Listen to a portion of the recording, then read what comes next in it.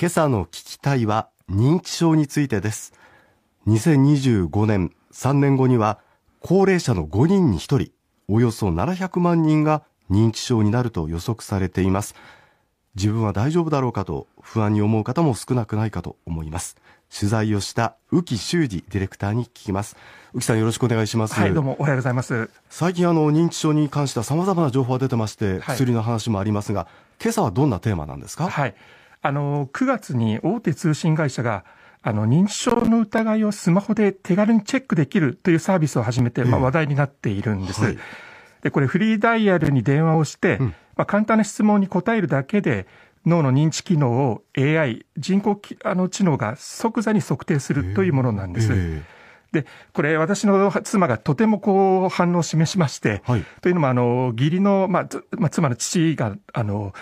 まあ、最近義理のお父様ですね。はい、物忘れがちょっとひどいと、えー、いうことをちょっと盛んに最近気になっていて、はい、これぜひ試してみたいということで、うん、ちょっと妻を連れて、あの久々にあの東北の実家の、妻の実家の方へ向かって、で、これ、あの、妻の、あの、お母さん、妹も、まあ、全員で囲みながら、お父さんに、これ実際ちょっと試してみたというものです。ちょっとお聞きいただきたいと思います。相当もうボケてますよ。ボケてる自信あんだ。じゃあ行きます行きます。はい。2つの質問にお答えいただくことで脳の健康チェックができます。まずはじめに今日は西暦で何年何月何日何曜日ですか？2022年10月29日土曜日です。次に年齢は何歳ですか？78です。それでは脳の健康チェックを開始します。しばらくお待ちください。脳の健康チェックの結果認知機能は正常です。はい。やってみてどうでしたか？やっぱ緊張する。こういうこと慣れてないからな、うん、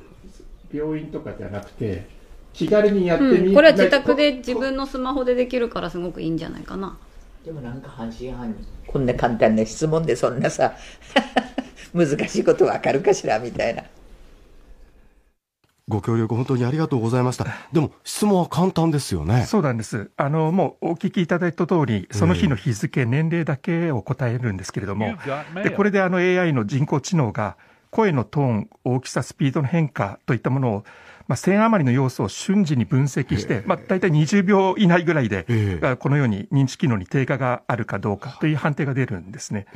で、その精度というのも、まあ、軽度認知症患者のあの方を対象に行った調査では、これ実に93%の正答率があるということなんです。高いですね。はい。えっと、サービス9月からですから1か月半ぐらいですかね。はい、これまで何人ぐらいの方は利用してるんですか？はい。あの、サービスを提供する大手通信会社によると、もうすでに延べ41万件の利用があると。で、これ、えっと、まあ、開発した、あの、はい、システム開発した医療メーカーの方に、あの、田中俊郎さんにお話を伺ってきました。はい。私の妻の食いつき方を見ると、はい、ようやくこういうものが出てきたっていう感じが、はい。はい、自分の身になってもし考えてみる見るとやっぱ認知症であるかどうかってことを積極的に調べるのって勇気がいるっていうか自分は違うって思いたいとか、まあ、いろさまざまな思いがあると思うので、まあ、ある程度こう個人的にこう、まあ、電話なりアプリなりでできたりですとか、まあ、そういった肩肘張らないっていうかですね。あくまで、はい、あの考える認知の状態はどんなかなっていうことを気楽に、はい、そうです。もう調子のチェックみたいなそんな感じですね。脳の機能の。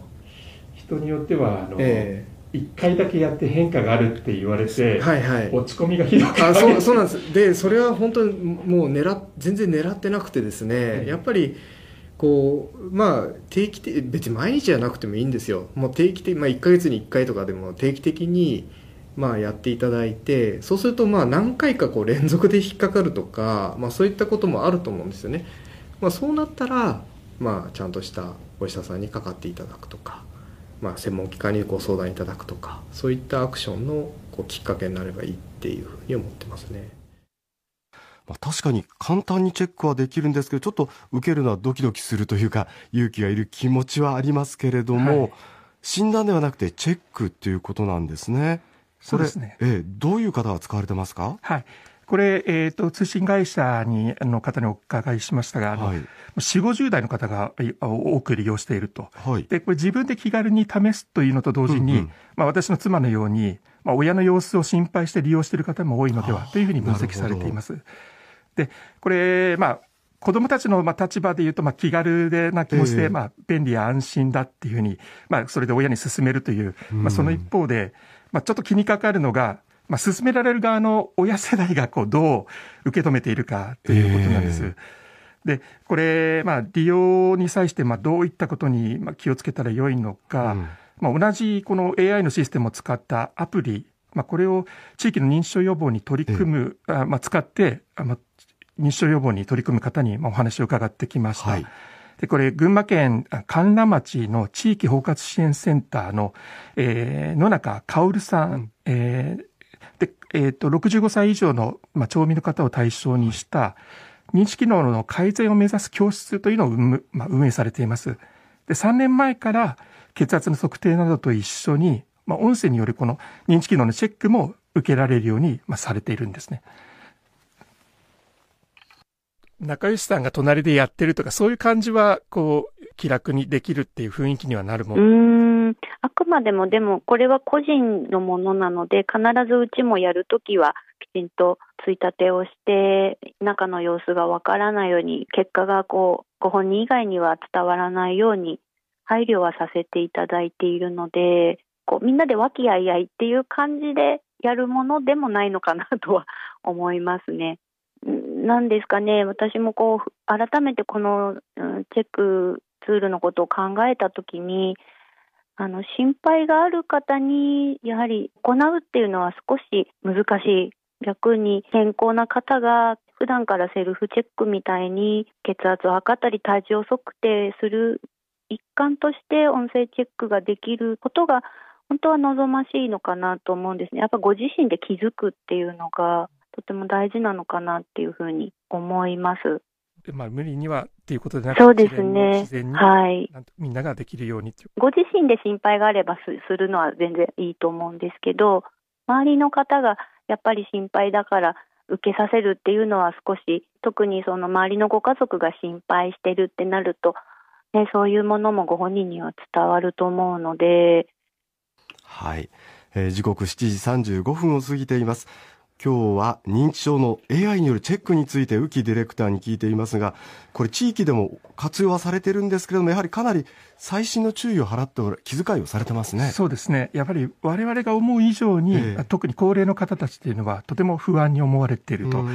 で、これ、あの、正常でないというような、まあそういった結果が出た方っていうのは、はい、まあ次からこういうチェックを受けたがらないということもあるそうなんです。で、まあ、そこでこう毎日気がかりな結果が出たとしても、あの、野中さんたちは認知症を疑うということではなくて、はい、睡眠不足とかストレス、飲酒といった、まあ、脳に、こういう認知機能に影響があること、それが、あの、なかったかどうかということを、まあ、丁寧に聞き取って、うん、まあ、それで安心してもらうことで、また次につなげるというふうに、あの、されているそうです。で、こうした、まあ、心配りなどもあって、はい、まあ、継続的にチェックを、まあ、受けることで、まあ、これまで73人の方のうち、3名の方が認知症の診断や治療につながったということなんです。そうですか。はい、やはりその早いチェックが診断とか治療につながる、これ大事なポイントですよね。そうですね。あの、やっぱりこの早期っていうことにつながるっていう意味では、あの、これ非常にやっぱり、あの、有用なものだなというふうに感じます。はい、で、やはり、ただまあ、高齢の方、家族にとっても認知症の不安というのはあるということですよね。そうですね。ええ、で、私そこで、あの、ぜひちょっとお話をお伺いしたいなと思った方がいらっしゃいまして、はい、あの、東京都の清瀬市で20年にわたって地域の認知症対策に取り組む、福十字病院認知症えっ、ー、と、疾患地医療センター長の飯塚智道さんなんです。はい、で、飯塚さんは、あの、表情を写した写真から、まあ、9割の精度で認知症患者を見分けるといった、AI を使ったまあ早期発見、予防に、認知症のに力を入れていらっしゃるんですけれども、はい、まあ、今、まあ、こういってあの技術があの進んでくる中で、まあ、これからの課題や期待することについてお伺いしてきました。AI 自体機械ですけれども使う側は人間なのでやはりその AI も心の通う使い方っていうのをやっぱり心がけていくべきだと思いますね。心の通う使い方。そうですね。たただ診断つきました終わり。ではなくてですね。じゃあこういうデータ出ましたけどこういうことができますよっていう。むしろ AI プラス人間っていうのがとても大事だなというふうに思っています。下手したら本当にみんな一回きりでやっぱり終わる人終わるそうですね。あのショック受けて終わるとかがっかりして終わるとかそんなことではなくて、まあ、そこを起点にしてちょっと希望をお話ししたいですよね。希望希望をお話ししたい。なぜかというと、えー、あのやはり介護が必要になるほど進んでしまっている方の脳っていうのは神経細胞がどんどん死んでしまって縮んでるんですね。